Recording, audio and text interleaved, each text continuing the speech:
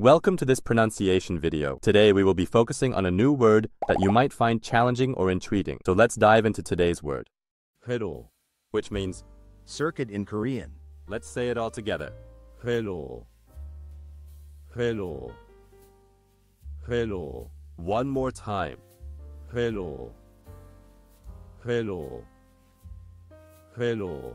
Thank you for joining us on this adventure in pronunciation. Remember, language is a journey not a destination. Keep exploring, experimenting, and expanding your linguistic horizons. We'll see you next time.